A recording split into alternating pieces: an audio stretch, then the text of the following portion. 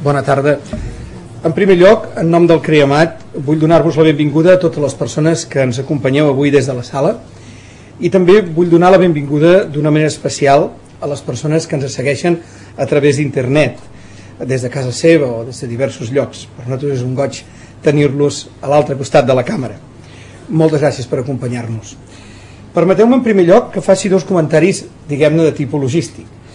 El primer eh, seria que les persones que ens seguiu virtualment eh, podeu formular les vostres preguntes per tancar el cercle de la virtualitat a través del correu electrònic en aquesta adreça, creamat.xtec.cat.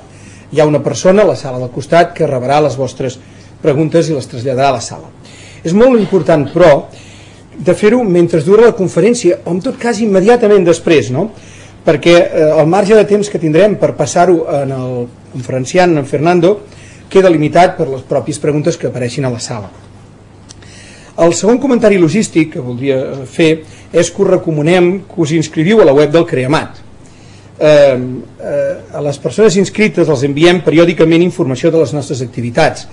Es tracta d'un sistema d'enviament global i personalitzat eh, del qual creieu-me que som conscients de que no n'hem d'abusar i intentem no abusar-ne. Tanmateix, en inscriure-us, entenem que una mica ens obriu la porta dels vostres correus electrònics per poder tenir aquesta confiança d'informar-vos de les nostres activitats. Per tant, si us inscriviu ens agradarà molt. Ens fa sempre molta il·lusió cada vegada que rebem una inscripció nova. I ara que hem fet esment de, de la paraula il·lusió, passem ja a parlar de l'il·lusionisme i a presentar la nostra conferència. Deia Miquel Martí Pol que l'il·lusió és el gest desmesurat, sorprenentment amable i ple de vida, que no vulnera ocells ni flors i crea meravelles. Potser per això la màgia sempre té un atractiu especial, perquè es mou en un territori entre la realitat i l'imaginació, entre el que és i el que sembla, entre l'explícit i el suposat, creant emocions.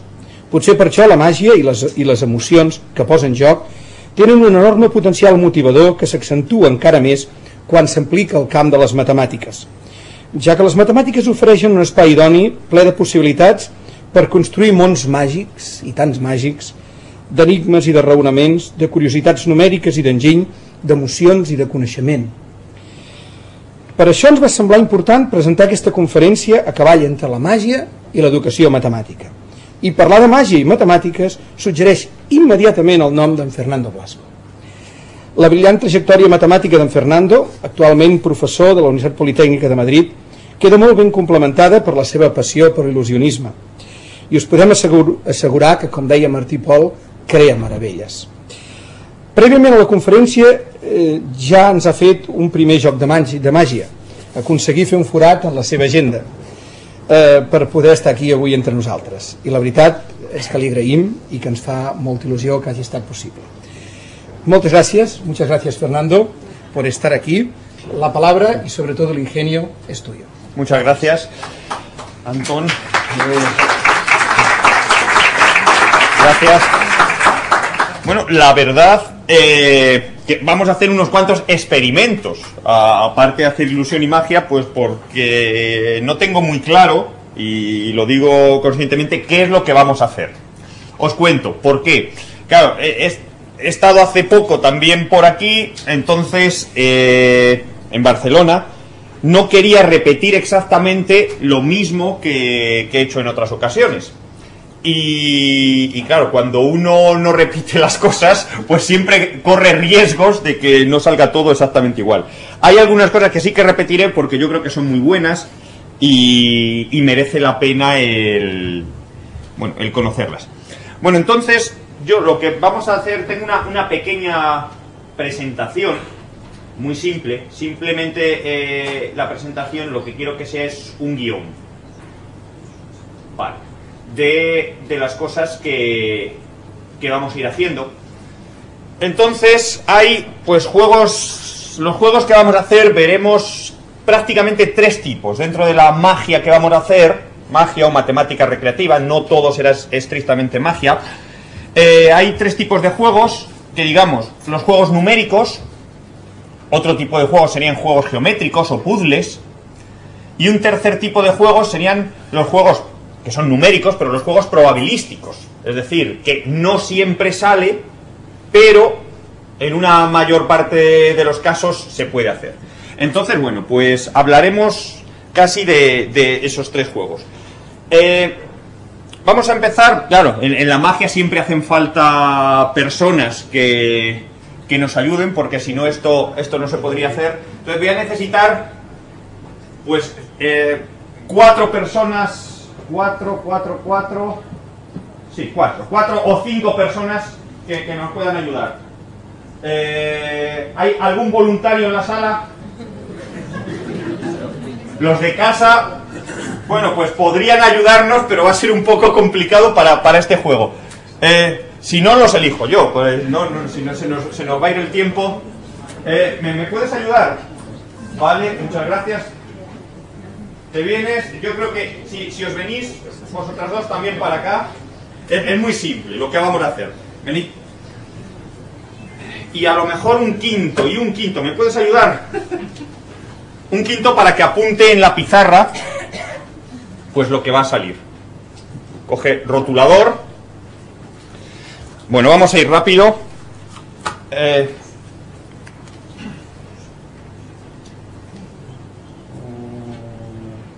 cinco, cinco, cinco, cinco.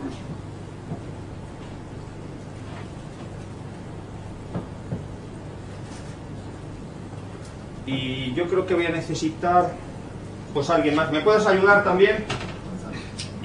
Estaba yo con dudas, con dudas si lo hacíamos con 4 o con 5.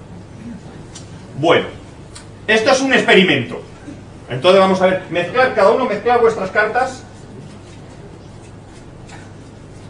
¿Vale? Eh, es importante en matemáticas, es importante el orden.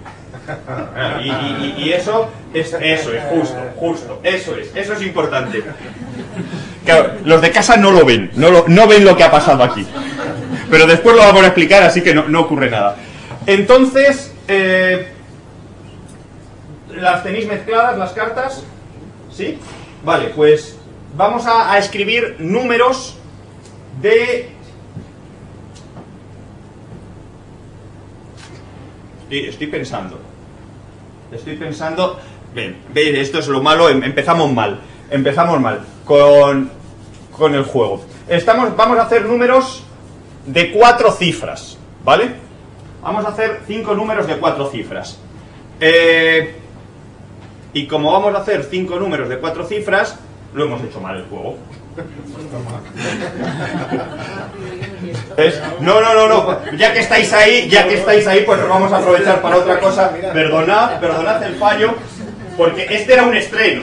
Era un estreno y decía yo que los experimentos, los experimentos fallaban. Bueno, venid, venid para acá. Eh, mirad, tengo aquí, vosotros no lo veis, en la cámara a lo mejor se ve un poco regular. Aquí hay unos cuantos sobres. Vamos a juntarlos. Vamos a ponerlos aquí centraditos.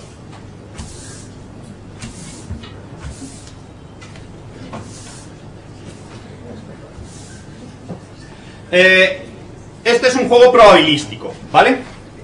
Tengo unos cuantos sobres ahí que vamos a utilizar, ya veremos, vemos para qué. Eh, ¿Me dices tu nombre? Laura. Laura, Laura, vente para acá, vente para acá y elige uno de los sobres. ¿Lo cojo? Sí, cógelo, quédatelo. Eh, y... Santi. Santi, coge otro sobre. Ese. Bueno, esto a lo mejor os resulta familiar, el, lo que vamos a hacer. Eh, hay un sobre, uno y solo uno, que dentro tiene un papel rojo. ¿Vale? Entonces lo que vamos a intentar es, bueno, pues hacer una especie de juego. Casi todos conoceréis probablemente el, problema de Monty Hall. Esto no es el problema de Monty Hall, pero bueno, vamos a ver ¿Cómo, salimos de esta? Eh, yo os voy a enseñar... Mira, este sobre, ¿quieres por favor ver si tiene algo, algo dentro? No, vale. Te voy a dar otro de aquí. Sí, esto es como si fuera el 1, 2, 3. El 1, 2, 3 vosotros tenéis ahí. No hay nada.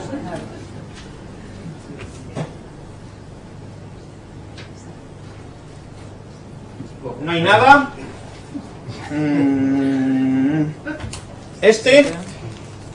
¿Hay algo? Tampoco. Y este de aquí, te lo puedo dar a ti, por ejemplo. ¿Hay algo? Vale. Entonces, yo tengo aquí un sobre. Y ahí hay... No, no, no, no abráis. Vosotros no abráis. Si abrís, pierde la gracia. Lo que yo tengo es que vamos a apostar doble contra sencillo. El, premio va a ser- consistir en el aplauso. pero no vamos a, tirar la casa por la ventana. Pero es doble contra sencillo. Eh, ¿Qué hacéis? Eh, la apuesta es doble, vamos, imaginad que estáis jugando como el 1-2-3, me entra complejo de Mayra Gómez Kemp, en- y yo os ofrezco cambiar lo que tengo yo en un sobre por vuestros dos sobres. ¿Qué hago? ¿Lo cambio para que ganéis el premio? ¿Cambiáis o no cambiáis?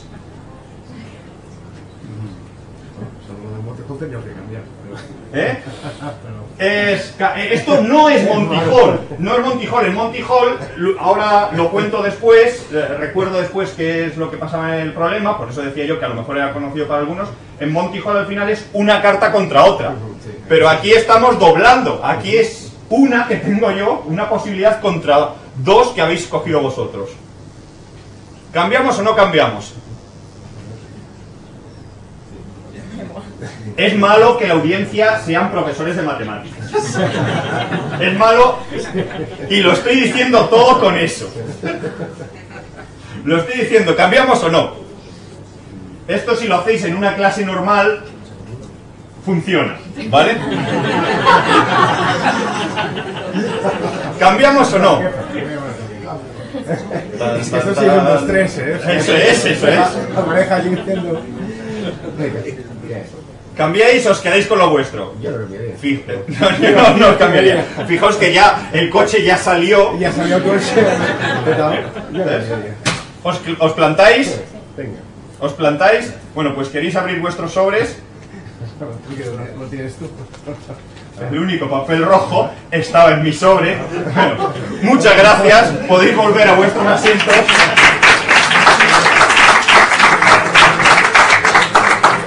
Y, luego os explicaré lo que no, ha sal- lo que no había salido. Eh, bueno, estaba diciendo yo todo el rato que no era Monty Hall, aunque en realidad sí que es Monty Hall. Es una vuelta de tuerca que al problema de Monty Hall, el problema de Monty Hall lo conoce mucha gente, por lo que se llamaba Monty Hall, el, problema es pues porque aparece en un programa de televisión norteamericano en el cual pues había tres puertas. Más o menos el, el proceso sería el mismo que, que lo que hemos hecho. Había tres puertas. Detrás de una de las puertas estaba el premio, digamos el coche, como en el caso de nuestro querido 123. Y en vez de calabaza, lo que tenían en, en las otras puertas eran cabras. En el caso del problema de Hall.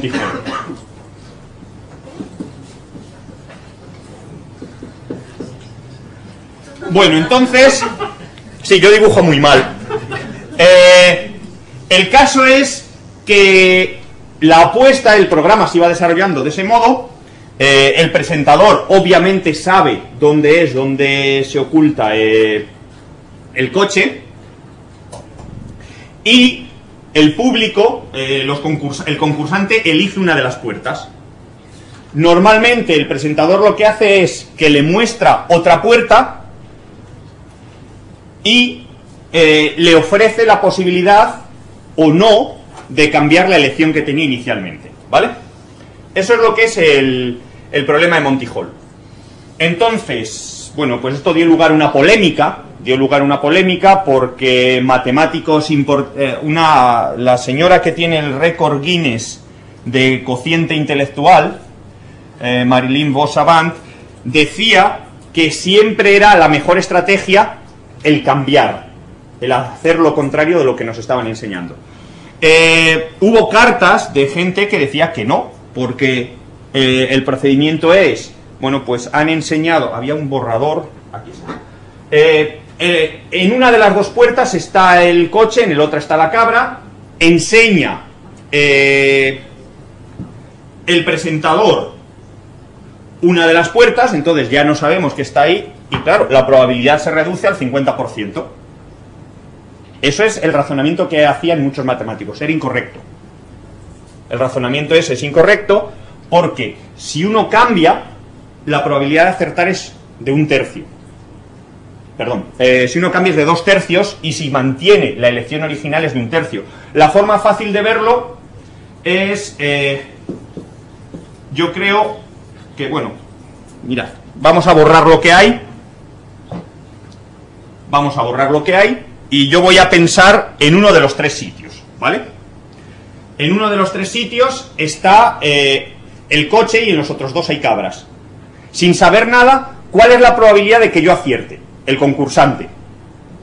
En el primer paso, un tercio, ¿no? Entonces, y de que falle, hay dos tercios, ¿vale? Obviamente, el presentador, ¿qué hace? Eh, imaginaos que la situación es que esta gana, esta pierde y esta pierde. ¿Vale? Imagina el presentador, eh, obviamente, siempre, ¿qué es lo que puede, lo que va a mostrar? Siempre va a mostrar una de las que pierde, ¿no? Pero, si, a ver, si lo tengo así, tanto si pierde, mmm, lo he puesto mal, lo he puesto mal, lo he puesto mal. Mm, vale. Eh, que me tropiezo. La, la historia es... Vale, ya está. La historia es que tanto antes... Termina. La probabilidad que hay de haber de que acierte el espectador con lo que había el, con lo que había elegido él es de un tercio, independientemente de que esté mostrada o no esté mostrada la puerta que lleva a las cabras, ¿no? ¿Vale? Entonces, el resto, el, resto es de dos tercios. En el momento en el que nosotros sabemos que una de estas dos puertas no tiene eh, el premio, automáticamente la otra hereda los dos tercios iniciales de probabilidad que había. Y eso es lo que hace que la mejor estrategia sea siempre cambiar. ¿Vale? Eso está documentado, aparece por un montón de sitios. El, el problema de Monty Hall, podéis encontrar información, los que no lo conozcáis, eh, en, buscando, haciendo Google, Google, problema de Monty Hall, aparece. Lo que hemos hecho nosotros, pues en realidad es aún más favorable para mí. Parece más difícil porque al final eh, era un 2 contra 1, pero es mucho más favorable para mí que el problema de Monty Hall, porque teníamos 8 sobres. 1, 2, 3, 4, 5, 6, 7 y 8, ¿vale? De los 8 sobres habíais elegido 2. ¿Recordáis qué números eran? El 3 y el 8. 3 y 8, ¿vale? Entonces, en principio, sin saber dónde había colocado yo el papelito rojo, eh, la probabilidad que teníais de acertar, la probabilidad entre los dos, ¿cuánto sería? De un cuarto. Y la probabilidad de fallar,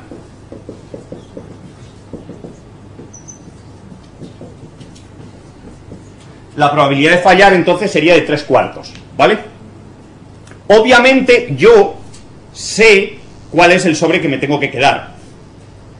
Como en Monty Hall, al final de todo el proceso, eh, este de aquí, que era el elegido, yo lo había puesto en el, en el número 4, al final de todo, la probabilidad es de un cuarto frente a tres cuartos.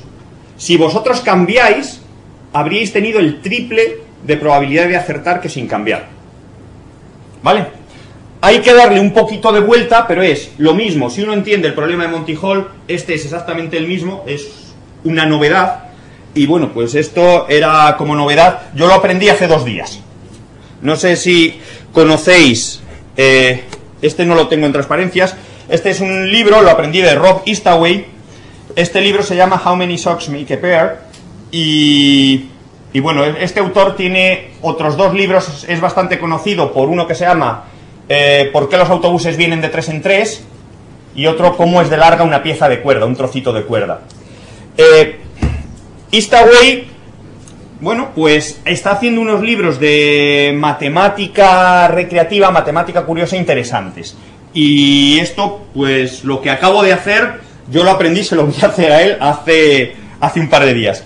El juego que ha fallado, el juego que ha fallado, a lo mejor, a lo mejor me da incluso tiempo ahora en un, en un momento hacer, hacer un reset y, y, volver a volver a plantearlo.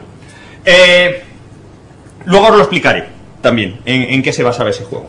Bueno, eso es por empezar siempre con algo nuevo. El, juego que iba a hacer al principio era la primera vez que lo hacía, es no pasa nada, pues porque yo creo que así os previene de lo que no debéis hacer cuando uno hace magia matemática. Y es que es muy importante el, el ensayar, ensayar previamente pues los juegos y los pasos que vayamos a hacer y el orden en el que, en el que se van a seguir. Claro, ensayar tienes juegos en los que sean de cartas, que los puede hacer uno solo, es sencillo el problema es cuando es un juego en el que realmente hay que involucrar a personas, pues porque tienes que estar pendiente, pues en este caso, de que el orden fuera el mismo y luego pues una, torpeza que yo no había decidido hasta el último momento si íbamos a trabajar con, con números de cuatro cifras o números de cinco cifras. Y eso es lo que me ha llevado a mí a, error a la hora de repartir las cartas. Así que, nada, dicho el, el comentario, si podemos, luego volvemos sobre ello. Bueno, voy a hacer otro, ya que ese no ha salido, uno que es uno es quizás, muchos lo conoceréis, porque aparece en libros de Martin Garner, después vamos a poner alguna, alguna referencia más, y para mí es un juego muy bueno, muy bueno de, de magia matemática. Bueno, esta vez, esta vez procuraré no cometer errores, necesitaré otras dos personas que, que me ayuden. De, de atrás puede venir alguien. No. Sí, ah, muchas gracias. ¿Y, alguien más? ¿Eres? Javier. Javier. ¿Puedes ayudarme? Vale. Bueno, este juego a lo mejor lo conocéis. ¿Y eres? Eli. Eli. Javier y Eli. Eh, Javier, para ti tengo un dado. ¿Vale? Cógelo. Eh, lánzalo. Vamos ganando tiempo. ¿Qué número ha salido? Cuatro. ¿Lo puedes recoger otra vez? Y lo lanzas otra vez. ¿Ahora qué salió? Un 6. Bueno, lo deberíamos hacer muchas veces para que se cumplieran las leyes de los grandes números y ver que efectivamente el dado no está cargado, ¿vale? No lo vamos a hacer porque si no se nos iría toda la hora. Eh, Eli, tengo una baraja, ¿vale? Corta por favor la baraja por donde tú quieras. Levanto unas cuantas, por ahí. Lo dejamos aquí. Y vamos a tener que volver a la pizarra. Eh, sí, convendría borrar. Bueno, el dado sigues con él, ¿no? Bueno, fijaos, fijaos que ahí he puesto yo, tengo un sobre que pone predicción, ¿vale?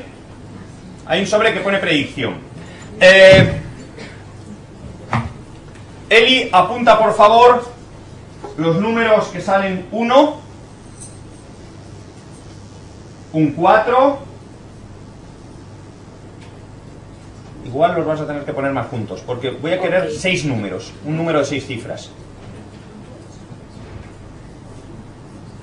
Vale, perfecto. Un 2, un 8, un 5, y un 7. ¿Vale? Bueno, Javier, coge el dado. Lánzalo. 5. Por favor, multiplica él y ese número por 5.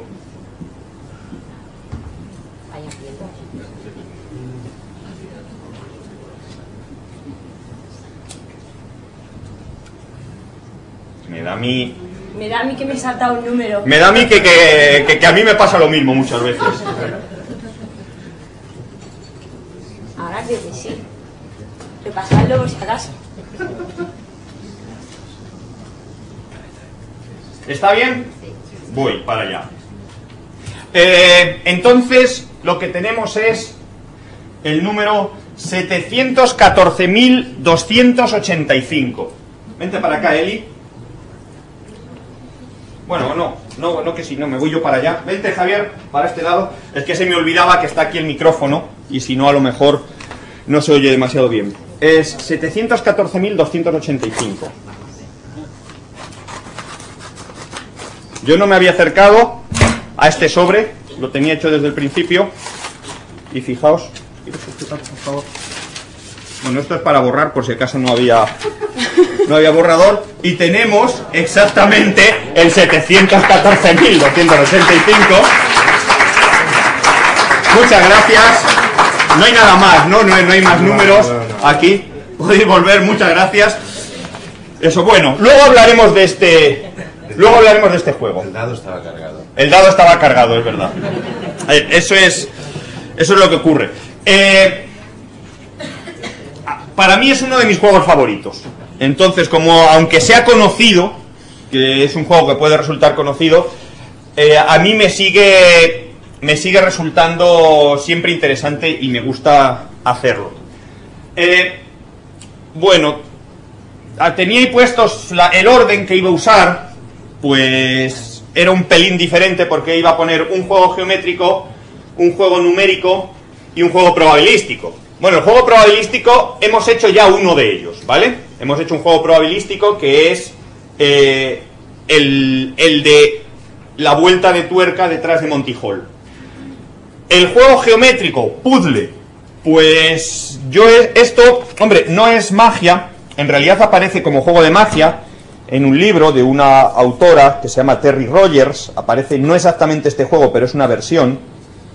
Y y yo digo puzzle, pues porque yo creo que dentro de la matemática recreativa o de la magia matemática, una de las cosas que más juego dan son los puzzles. Los puzzles matemáticos, pues para que los estudiantes piensen y nosotros mismos también.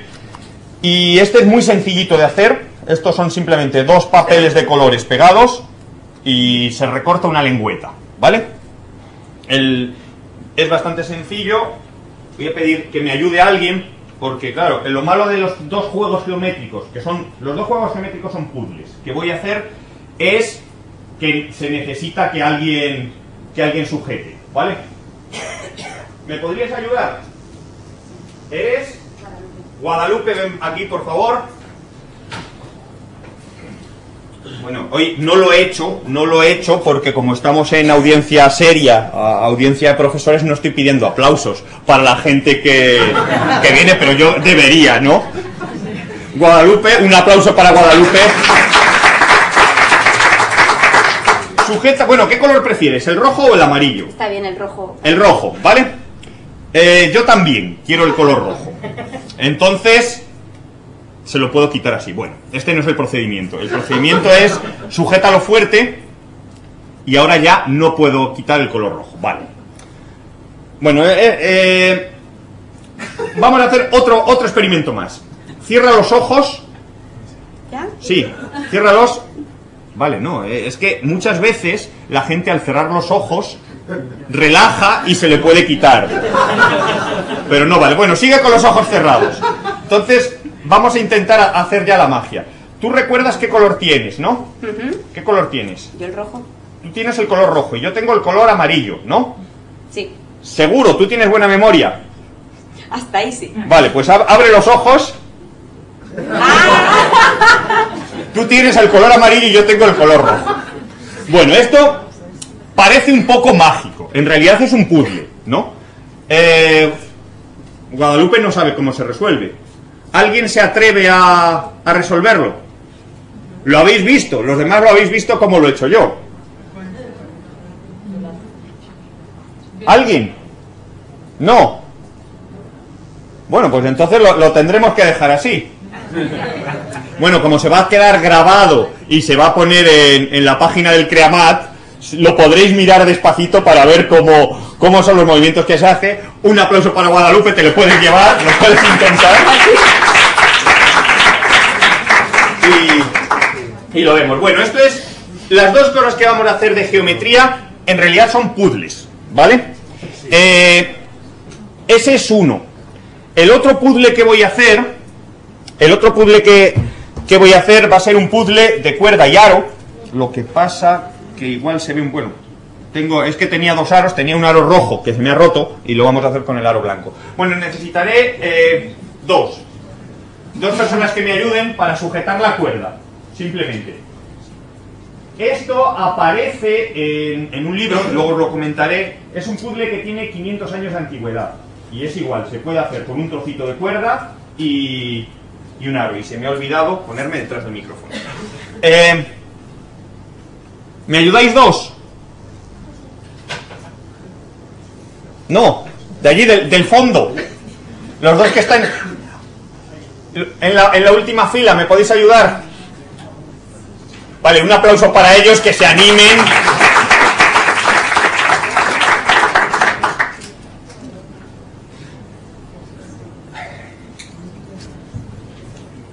¿Ya?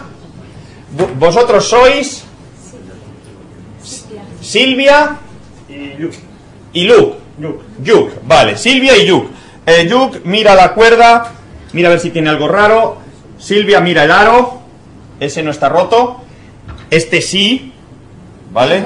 Entonces se cayó al suelo y se rompió y, y no lo vamos a usar. Vamos a usar el blanco. Yo espero que, que se vea bien, de todas formas, con el aro blanco. Bueno, eh, Yuk, la cuerda es normal, Sí. ¿vale? Te voy a pedir que hagas un nudo en, en la cuerda.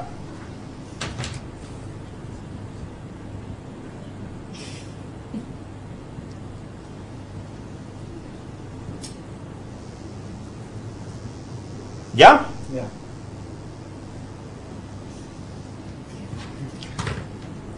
Tira a ver si es... mm, mejor, mejor.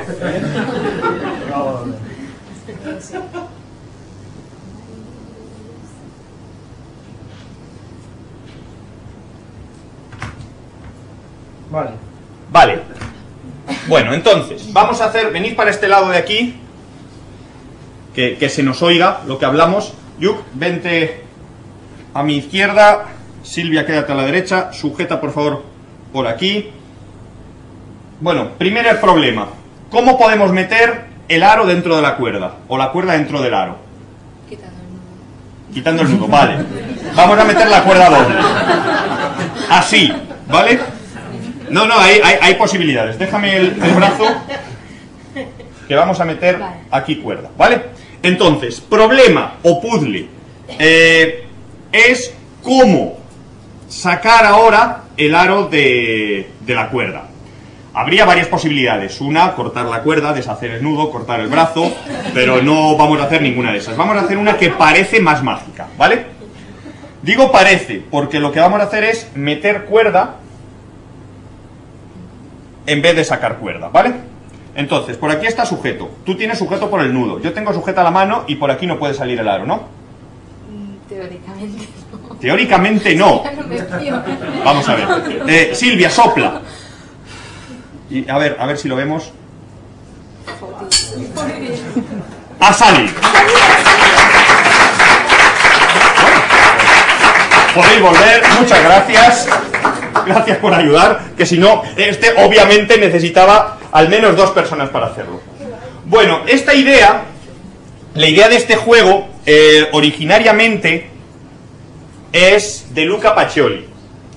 Luca Pacioli, sabéis que era un, ma- un matemático de- del siglo XVI, autor, por ejemplo, de un libro sobre la divina proporción. Aquí el romboctaedro que sale eh, en esa figura está, es uno de los dibujos originales en el libro de la divina proporción hechos por Leonardo da Vinci.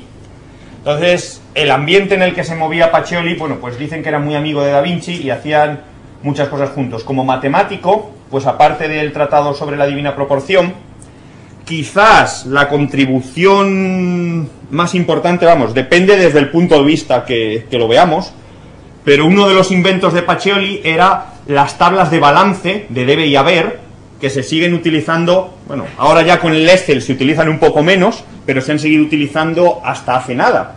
Y eso lo inventó para llevar la contabilidad de los Medici. Entonces, eh, las contribuciones de él han sido importantes y además de todas las contribuciones a la matemática más seria, hizo un libro de matemática recreativa que se llamaba De Viribus Quantitatis y se puede consultar en internet en una página italiana. Es, luego pondré la, referencia. Eh, el caso es que ese es el libro de matemática recreativa más antiguo que hay en el mundo. Está escaneado, claro, son caracteres, es un manuscrito del siglo XVI y es muy difícil de leer. Lo están traduciendo al inglés y probablemente salga el año que viene. En 2009 está previsto que, vaya a salir. Llevan 12 años preparando el libro. Iba a haber salido en 2008, pero al final parece que es en 2009. Y entre otros juegos viene este. Viene un montón de juegos de los que son conocidos, pues como el de el lobo, la col y la oveja, que tienen que cruzar el río, viene ahí también. Vienen problemas de construcciones geométricas. Viene eh, muchísimas cosas ahí. Y bueno, pues la, la curiosidad es que en ese libro está también la primera referencia que hay en la literatura a un juego de magia con cartas.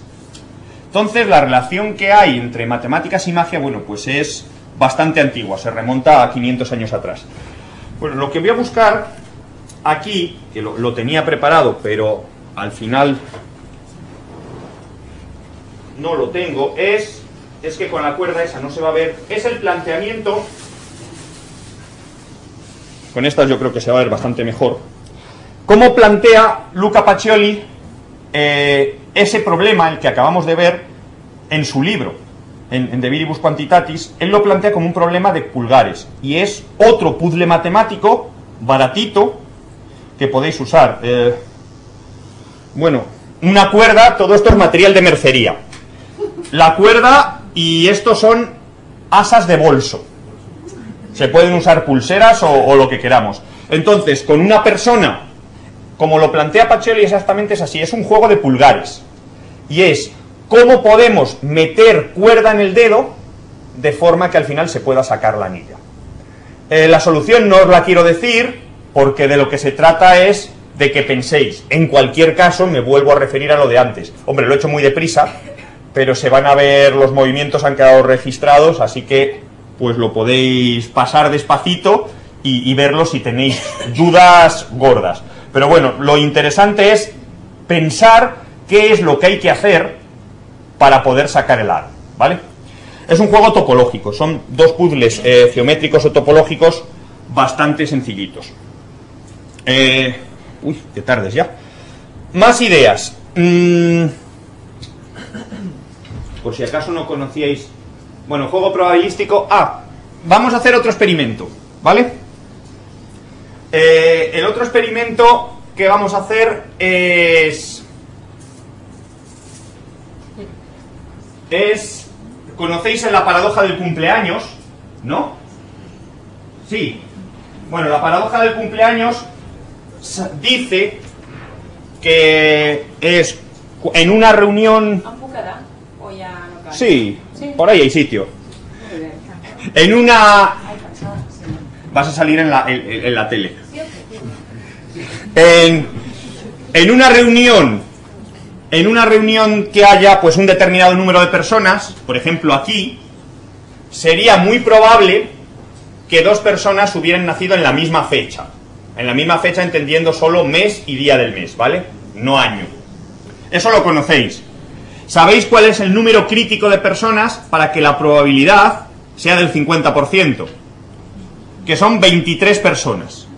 Si uno hace las cuentas, eh, con 23 personas en una sala, la probabilidad es del 50%. Claro, aquí tenemos eh, casi 100 personas, aproximadamente 100 personas. Yo estoy seguro de que eso ocurre, que, que- que la probabilidad va a ser muy alta. Pero podemos incluso reducirlo un poco más. Esto también es, es miedo, pero yo, yo me atrevo. Necesito 6 personas voluntarios, y esto sí que me hace falta para que yo no, bueno, yo no me sé las fechas de nacimiento de ninguno de vosotros, pero si no, por ejemplo, vamos a coger, eh, me cojo, es vosotras de esta fila y tú que estás en esta, ¿vale? Vosotros seis. No, no, quedaos ahí. No, no, no. ¿Queréis salir? Vale. Eso como, como prefiráis. Bueno, solo con vosotras seis, ¿vale? Eh, lo que os voy a pedir es que digáis cuál es vuestra fecha de nacimiento. Y si alguien cumple años el mismo día, que levante la mano, ¿vale? Entonces, 18 de enero. 18 de enero, nadie. 30 de enero. 30 de enero, nadie. 5 de agosto. 5 de agosto, mira, ya hay uno. Simplemente al, al tercer intento ha aparecido alguien y habíamos restringido, no estábamos considerando todas las posibles parejas que podía haber, sino hemos restringido el conjunto con el cual íbamos a hacer el test a seis personas. Bueno, vamos a ver si hay a- a- alguna más. 29 de septiembre. No, 18 de mayo. 18 de mayo tampoco 18 de junio. y 18 de junio tampoco. Bueno, pues, pero el conjunto con 6 ha habido una coincidencia, que era lo que esperaba. Bueno, eso es igual. Si os ponéis a hacer cuentas, veréis que puede salir. El- es lo mismo que, que lo que comentábamos antes. La, paroja- la paradoja del cumpleaños es conocida, que se puede delimitar, incluso calcular que 23 es el número crítico para que sea el 50%, pero lo que no es tan conocido es que en una población suficientemente amplia, podemos reducir el conjunto con el cual vamos a hacer el test a una pequeña cantidad de personas. Si escribir las cuentas, hoy no lo vamos a hacer porque es que si no, no nos da tiempo, pero vamos, eh, lo pensáis y veréis por qué es por lo que estamos hablando de más de un 80% de, pro- de probabilidad. Entonces, dentro de la magia, los magos profesionales también hacen algunos juegos deterministas, como podría ser, bueno, pues eh, el que hemos hecho del 1, 4, 2, 8, 5, 7, y algunos juegos más de del estilo eh, probabilístico, como este. Bueno, entonces, esto es un poco lo que son tres, tres puntos, nueve cosas en las que aparece la magia matemática. Pues podríamos tratar con números, con geometría, con probabilidad, ahí es muy sencillo. Esto no lo voy a hacer, lo había recortado pues por si acaso. ¿Conocéis eh, la falacia de la disección? Es una pieza que según cómo coloquemos el tangram nos parece que hay 64 unidades de área, 65 o 63. Entonces, esto es bastante conocido, es un, un teorema de geometría que la clave, la clave está precisamente en esta parte, sí, sí lo voy a contar, el uso, para lo que me sirve esto a mí, y cuando yo explico geometría lo hago, es para explicar el teorema de Tales. Claro, estos dos, esto que parece un triángulo no es un triángulo en realidad, porque 5 treceavos es distinto de 3 octavos. Entonces, nos parece un triángulo, hay una pequeña convexidad y ahí es donde se esconde el puzzle. Pero bueno, esto nos sirve para el teorema de Tales. El otro teorema clásico de geometría, teorema de Pitágoras, sabéis que hay pruebas de los del teorema de Pitágoras recortando papel. Y por ejemplo, en un libro de, eh, Harry Houdini, eh, el escapista, en un libro de Harry Houdini que se llama eh, Paper Magic, Magia con papel, aparece la demostración, lo que yo llamaría demostración del teorema de Pitágoras, aparece como truco de magia. Es con dos cuadrados, los recorta en unas determinadas piezas y forma uno. En vez de dos, pues uno desaparece y forma uno. Claro, el que forma es más grande.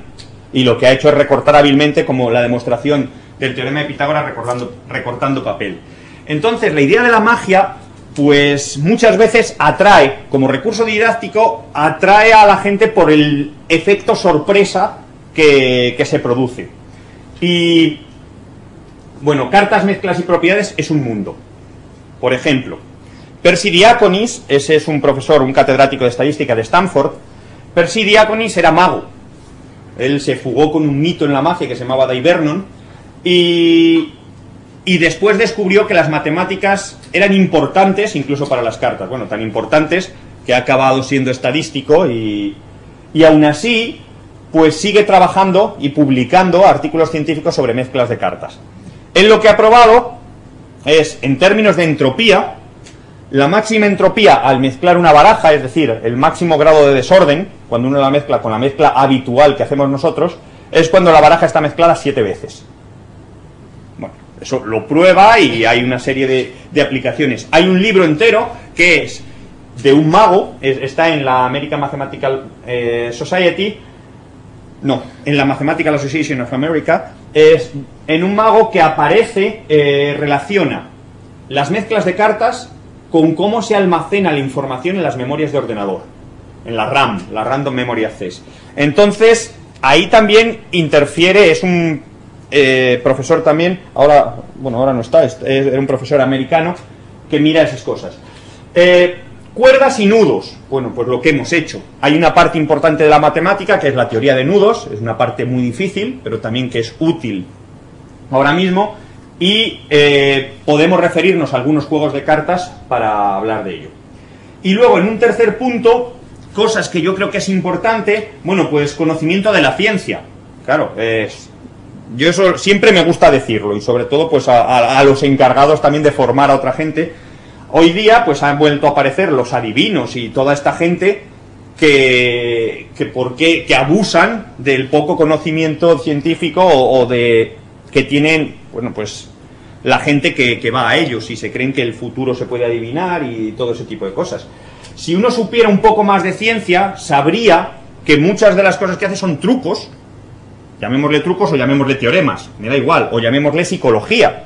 La psicología es una ciencia y ellos están utilizando métodos, bueno, pues para obtener información de otra forma. Relacionar la ciencia con el arte. Muchas veces decimos que son parcelas distintas. A las personas de ciencias, bueno, pues siempre se considera más culto a las personas de letras que a las personas de ciencias, a lo mejor, pues porque están relacionados con el arte, con la literatura, con algo así. Pero yo sí que quiero reivindicar que en el arte hay un montón de ciencia. No solo en los dibujos de Escher, sino en otro montón de esculturas geométricas aparecen también matemáticas. Y matemáticas en la cultura popular. Bueno, pues aquí al lado, por ejemplo, hoy no nos da tiempo, pero la Sagrada Familia tiene un cuadrado mágico. Eh, el cuadrado mágico que aparece en la Sagrada Familia es una copia del cuadrado mágico del grabado de Durero. Es una copia hasta cierto punto, porque no es tan evidente. El cuadrado de Durero eh, tenía una constante mágica 34, la suma de los números que aparecen es 34. El cuadrado de la Sagrada Familia tiene constante mágica 33, porque interesaba ponerlo por la resurrección, interesaba que quedara 33. ¿Cómo una persona, claro, si Subirax, que era el, el escultor, a lo mejor no tenía muchas ganas de pensar cómo cuadrar los números para que le quedara el cuadrado mágico, hizo una cosa muy importante. Y la cosa importante que hizo, a mi juicio, es, bueno, pues lo que se hace siempre en ciencia cuando se avanza, es pasar de algo anterior que ya era conocido. Si él conocía el cuadrado de Durero, ¿cómo podría hacer para que en vez de quedar 34 en la suma quede 33?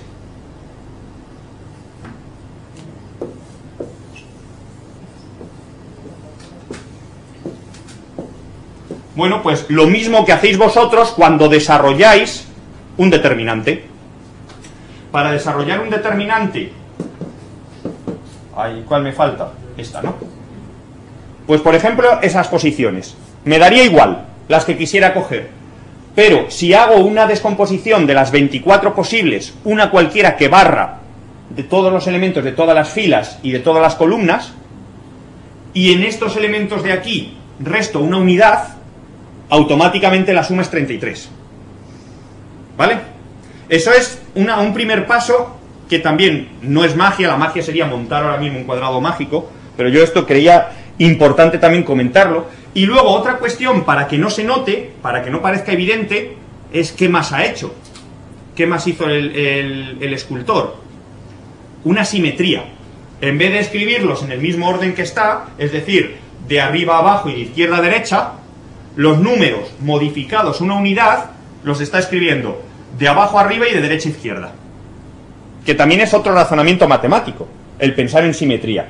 Bueno, pues eso es lo que quería decir también, que interesa introducir las matemáticas en la cultura popular porque tienen bastante que, que decir. Bueno, eh, referencias, que luego vamos, vamos corriendo, no sé cómo andamos eh, de tiempo.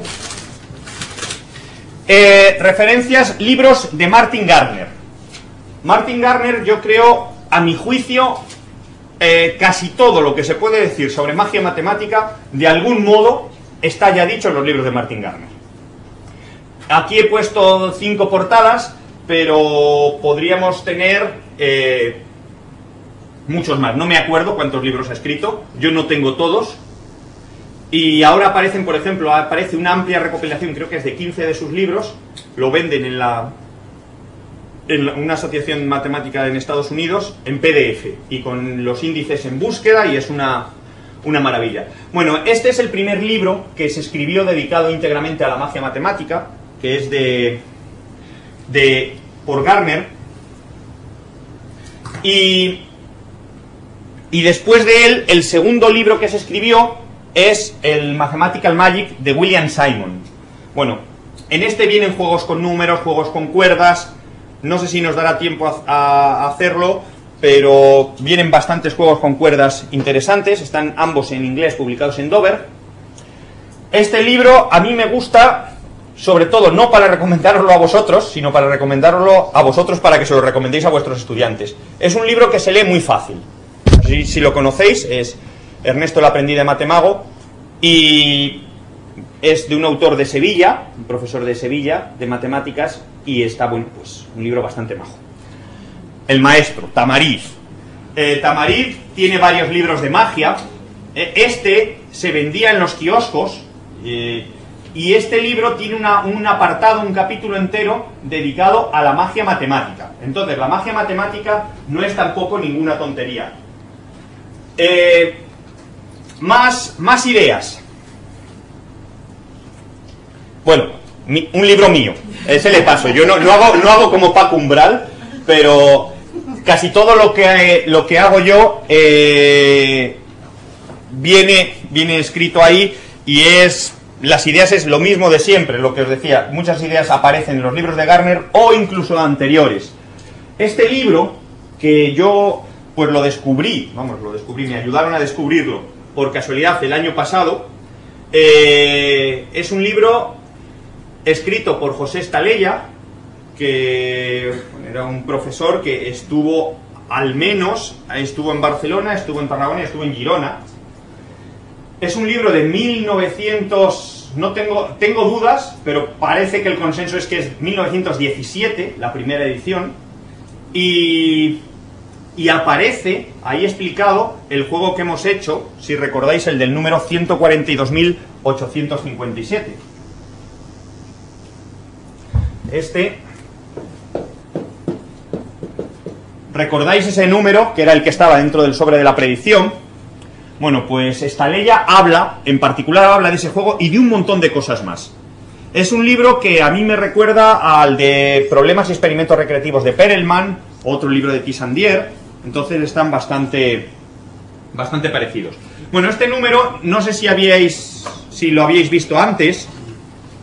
Yo he borrado rápidamente, esto es ya capítulo de soluciones, yo he borrado rápidamente la, la cosa para que no se notara. Lo que habíamos hecho era multiplicarlo por 5, ¿no? Bueno, vamos a cambiar, en vez de multiplicarlo por 5, vamos a multiplicarlo por otra cosa. ¿Por qué lo multiplicamos? Por 6. Pues si lo multiplicamos por 6, el resultado es este. 857.142. Esto es por 6. Si lo multiplicamos por 3, ¿cuánto será? Bueno, eh, ya os digo que es número cíclico. El nombre lo dice, lo que pasa. Eh, ¿En qué termina? En 7 por 3, 21. Es decir, el último, la última cifra va a ser un 1 y las siguientes van a ser 4, 2, 8, 5, 7. ¿Vale? Os podéis hacer una idea de la propiedad que tiene ese número y eso en realidad es una propiedad mágica, ¿no?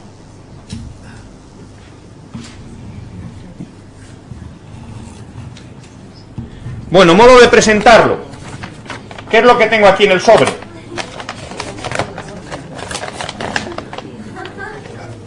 En el sobre tengo el número cíclico. ¿La dificultad en qué consiste? En cortar por el sitio adecuado y eso se hace con práctica, ¿vale? Pero para mí es... para mí es uno, uno de, los, de mis juegos eh, favoritos. Hay otra dificultad que es que al principio de las cartas salga este número.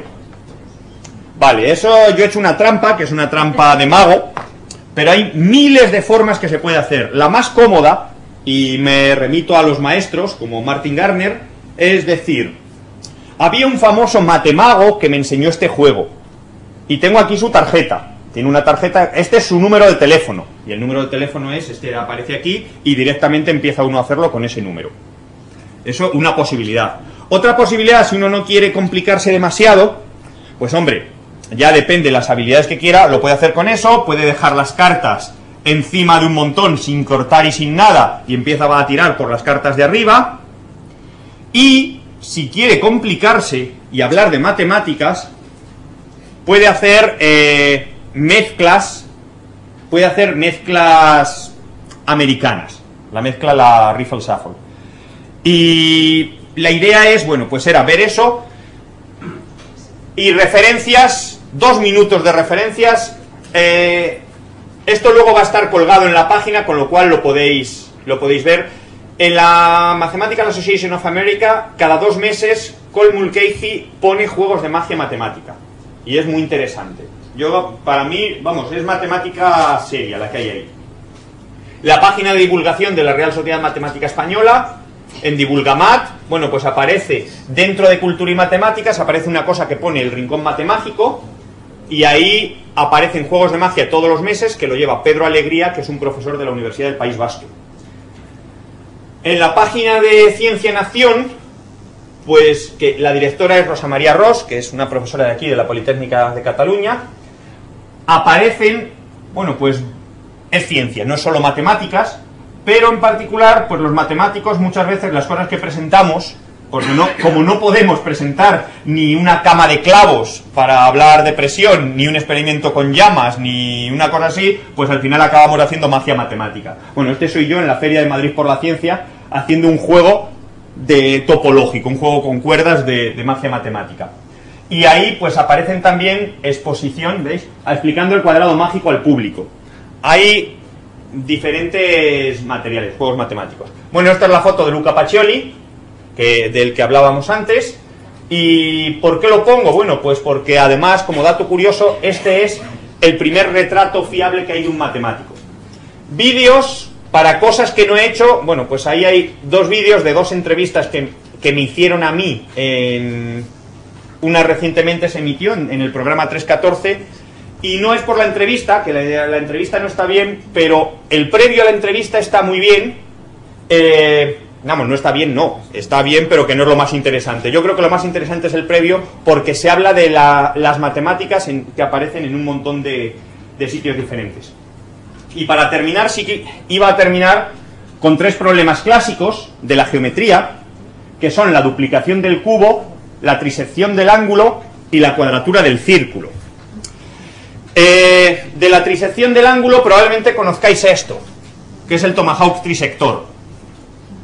Bueno, pues no lo voy a explicar porque nos hemos ido de tiempo, si acaso en otra ocasión, y si no lo podéis buscar, aparece en libros de Martin Gardner.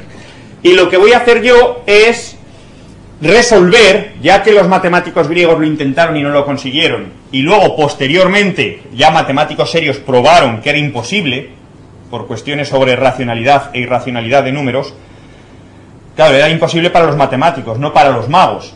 Lo que vamos a hacer es resolver el problema de la cuadratura del círculo así.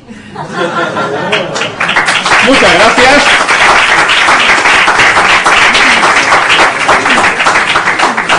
Espero que os haya servido como muestra para que veáis lo amplio que es el, el campo este que, de, de enseñanza.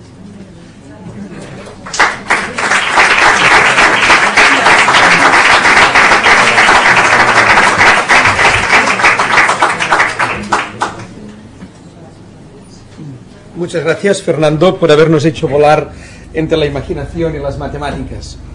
Eh, bien, eh, ahora sería el turno de preguntas. Recordamos que las personas que nos siguen desde sus casas pueden dirigir las preguntas al a creamat.xtec.cat. Eh, bueno, eh, Yo sí.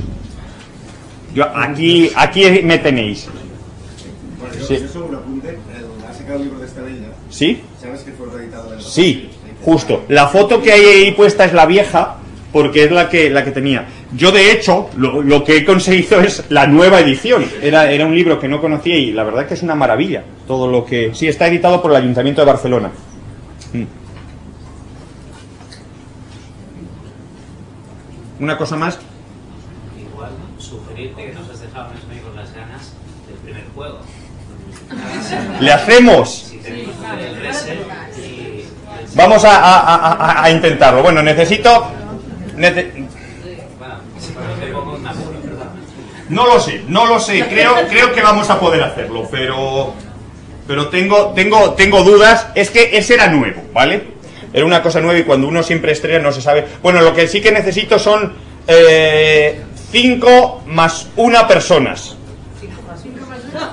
Sí. Necesito. eh,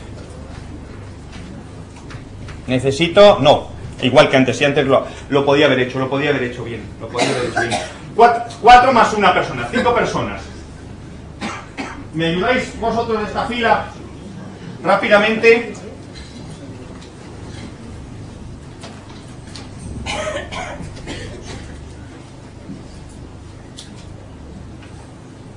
Vale, otro. Por aquí. Vente, eh, vente para este lado.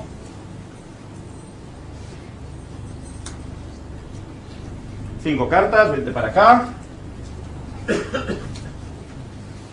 Cinco cartas, vente para acá. Y cinco cartas, vente para acá. Y mezcláis vuestras cartas. Vente, no, no, no tienes cartas, pero vas a tener un rotulador. ¿Vale? Eh, vosotros estáis mezclando. Yo no quiero ver, yo no quiero ver lo que hacéis. Y ya las tenéis. Os voy a mirar.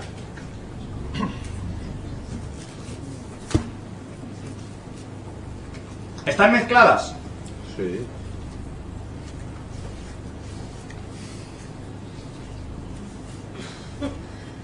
Vale. Y son distintas, ¿no? No, no son las mismas cartas. Vale. Bueno, pues vamos a intentarlo.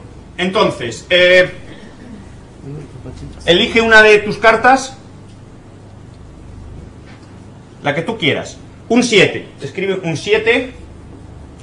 Una. Un as, un 1. Un 6. Y un 6. Vale, ahora debajo. Eh, una, la que tú quieras. Un 9. Un 1. Un 9. Y un 9. 3. 6. Me da igual. Eran dos seises. Eh, 4. 3. 6. 2. 4. 4. 8. 5. As. Y 9. Bueno, eh, yo tengo, yo he apuntado algo en algún sitio que no me acuerdo dónde está. ¿Es esto lo que he apuntado? Sí. Sujétalo, por favor, que luego lo tendrás que enseñar. Vosotros habéis mezclado las cartas y hemos compuesto ahí cinco números aleatorios. ¿Quieres sumar, por favor, lo que nos queda? Así, todo. Sí. 25, 33. ¿Sí? ¿No? Ai, Eso nos pasa a todos los matemáticos. 10, 19, ai no, 19, 27, 27, 35, 35, no? 33. 33. ¿Quieres que lo deje o qué? No, no, no, no, no, que hay mucho matemático por aquí suelto. 11, 11, 13, 18. 6, 7, eh, 25. 20, 25. 25. 25. És que està treballant tot el dia. Un 25. No venia preparada. Un 5. Portem dos. Portem dos. Ui. 47, A ver. 24, Es que no están viendo. 33. 33. 33, pues ya está. Bueno, vosotros hicisteis todos los números de, de la forma como queríais. Iban saliendo, montamos esos números, yo hice una predicción que la debería haber tenido preparada antes. ¿Y quieres enseñarnos qué era? Exactamente 33.583. Muchas gracias.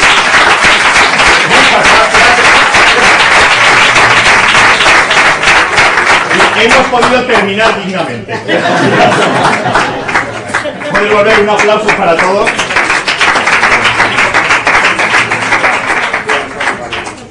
Bueno, pues si pensáis un poco en el proceso, veréis por qué funciona el juego. Y ya está, ya no digo más. No sé si hay alguna pregunta más.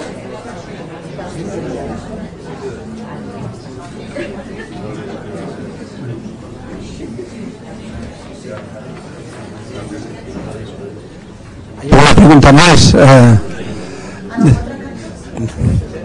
Ah, no, no, sé, no se sent bé. Bueno, cridarem. Bé, ara que ha sortit el número, eh, si som feliços, eh, hi ha alguna pregunta més? M'ha- M'han dit que de, per internet encara no n'hem rebut cap, no? Bé, n'hi ha alguna altra a la sala? És, és una d'aquestes conferències que surts amb molts de deures per fer, eh? de coses per comprovar. Bé, doncs, eh, si no n'hi ha més, ho deixem així. Eh? Ah, allà n'hi ha una, dispensa. Quería preguntar si el principio, el fallo del principio estaba ya preparado. No, no. No. Eh. ¿eh? Sí, pero o- os puedo contar el proceso de cómo, cómo ha sido la cosa y bueno, me ha ayudado Antón en algún momento, le he pedido que me, hiciera una cuenta que, que me hacía falta. Eh, por si acaso, yo también quería repetirlo, ya que había salido mal.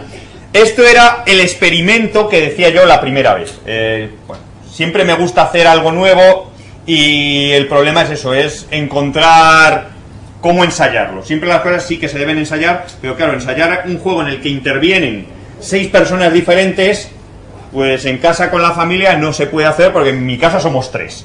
Entonces, digo, bueno, pues también es una buena ocasión con gente interesada y, y, y esto, pues si sale bien, si no sale, pues nada. No salió, pues lo hemos repetido sobre la marcha y al final ha salido la, la historia. Pero no, no, no, no estaba, no estaba intencionado. A mí me hubiera gustado haber empezado con la.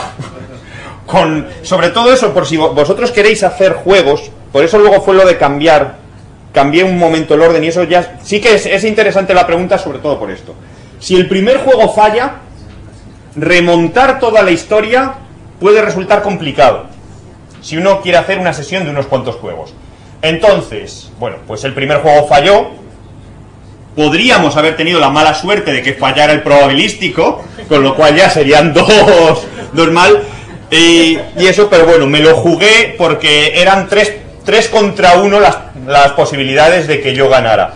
Y si no, bueno, pues el de la cuerda que no falla nunca o algo así habríamos hecho. Pero eso si lo pensáis, sí que por vosotros y por, por la audiencia se puede venir abajo si falla siempre el primero. Y era una ocasión especial. Bueno, pues sois profesores, somos compañeros y, y- y sabemos que hay veces que nos equivocamos. Incluso cuando se hace, pues eso, en- con alumnos o lo que sea, tampoco viene mal el ver que uno no es infalible y que, y que se equivoca. Y luego si viene bien, sobre todo, si uno lo repite y sale, ya sí que queda... Se refuerza todo. ¿Nos puede recordar, si no me acuerdo, lo de los números cíclicos, como aparecen en la potencia? Sí. Eh, eso tiene una historia y además en el libro de Estaleya, este que, hemos hablado hace un momentito, en el libro de Estaleya viene un número cíclico de 16 cifras. Este era de 6. Eh, si uno tiene un, un número que a la fuerza tiene que ser primo, y uno hace el 1 partido por P, le queda pues 0, lo que sea. Eh, si aquí hay P menos una cifras, ese periodo da lugar a un número cíclico. Eso es lo que ocurre y es lo que se puede probar. Y hay incluso propiedades, aquí le habíamos multiplicado de 1 a 6, ¿vale? Si le multiplica por números más grandes que 6, y en el libro este que os enseñaba al principio de Rock Eastaway, ahí viene, en el libro de esta línea también vienen algunas otras propiedades, es que, vamos, para mí ha sido descubrimiento porque viene, para mí la Biblia era Martin Garner, pero hay cosas hechas previo a Martin Garner, incluso aquí, que, que está.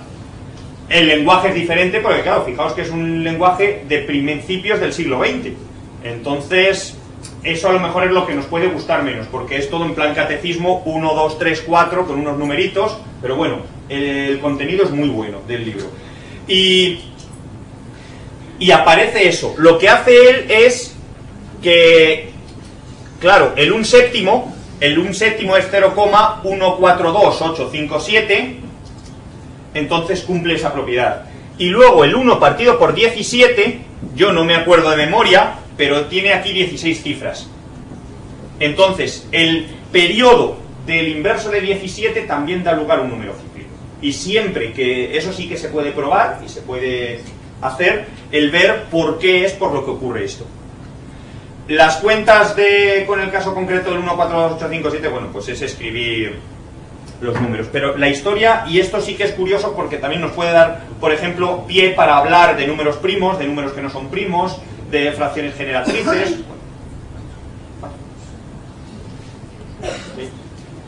Eh, yo no puedo, no resisto a preguntarte, has sacado la, la maza al principio, ha partido has sacado las cartas una a una y con ese orden. ¿Eso es? Vale. Eso es una trampa de, de mago. La que he hecho. La puedo contar. He hecho una cosa que, que es de lo más burdo del mundo. Eh, ¿Quién me ayudó? Bueno, pues lo que... Tú fuiste a por un rotulador, ¿no? Vente, vente para acá. Bueno, están puestas otra vez, arriba de la baraja tengo los números que quiero, ¿no? El 1, 4, 2, 8, 5, 7. ¿Tú recuerdas qué hiciste? Cortaste y, y te fuiste a por el rotulador, ¿no? Te fuiste a por el rotulador y cuando se va por el rotulador... el 1, 4,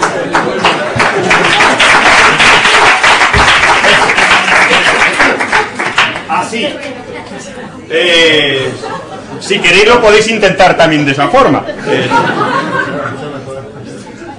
Y luego la mejor, la mejor, ya puestos, pues la, la hago. Si, si, si tenéis tiempo, no lo sé, como... La mejor, me hace falta, lo que pasa es que eso, bueno, cojo estas, estas cartas porque tienen índices grandes. Eh, la mejor necesito un palo, voy a coger tréboles, no, no por nada, sino porque es de las que más cartas me están saliendo, ¿vale? ¿Hay alguien que sepa mezclar a la americana?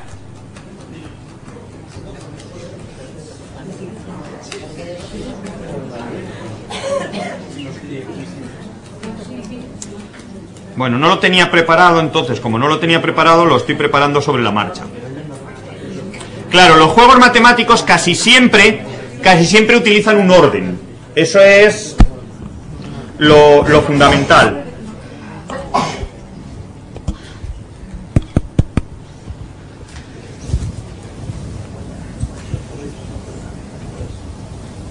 Bueno, yo creo que ya está.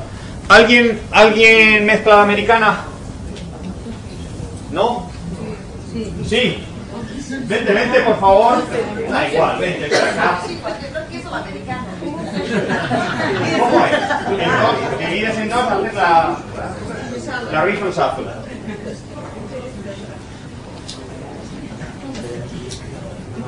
Es, en cualquier caso, si no, eres testigo, eres Concha. Aplauso para Concha. Concha, corta el montón en dos. Vamos a elegir las cartas de trébol. Y, y- Y ahora a ver, ¿no? y ahora a, a mezclar. Si no. Oye. Un aplauso. Vale.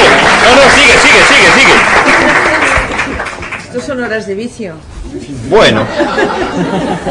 Hay otros peores, ¿no? En clase, en clase, en clase.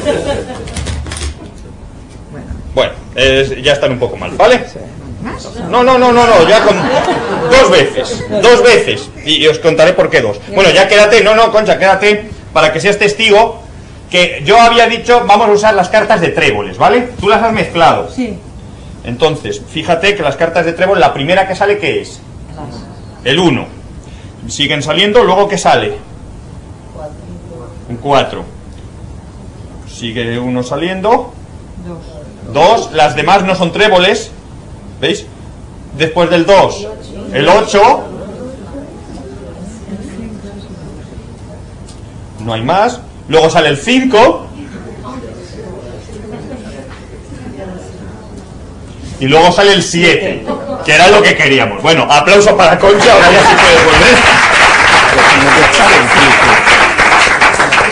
Y Concha ha mezclado dos veces. Bueno, ¿por qué pasa eso? ¿Por qué pasa eso? Por el orden parcial de las cartas. Yo lo que había hecho, vamos a hacerlo solo con una vez. Lo pensamos solo con una vez, ¿vale? Eh, fijaos que aquí lo que tenemos, yo había colocado en el montón, bueno, cuando uno mezcla tengo aquí el 1, 4, 2, 8, 5, 7 y luego encima un montón de cartas, ¿vale?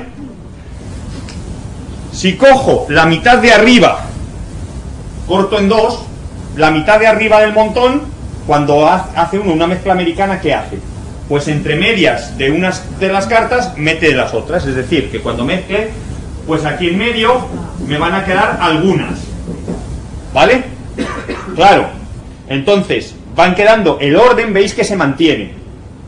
El orden se mantiene y hay otras cartas por medio para despistar. Problema. Bueno, esto es una parte matemática. Eh, La mezcla es en realidad es una mezcla matemática. Problema que tiene. Pues que si tengo una carta de trébol por medio, me descoloca el asunto. Imaginaos que al mezclar me sale aquí el 3 de trébol. Ya me ha jorobado el juego. Pero, ¿qué hago? Claro. La configuración que tengo es que tengo aquí las seis cartas que me interesan. Las seis que me interesan. Aquí el resto, que son siete. Vale, son siete, pero si yo le hago resto. Tengo las seis que me interesan. Siete cartas por encima que son de trébol. ¿Vale? Trece cartas que, de lo que sea. Y frente a esto voy a tener aquí 26 cartas. Más o menos si parto por el mazo exacto.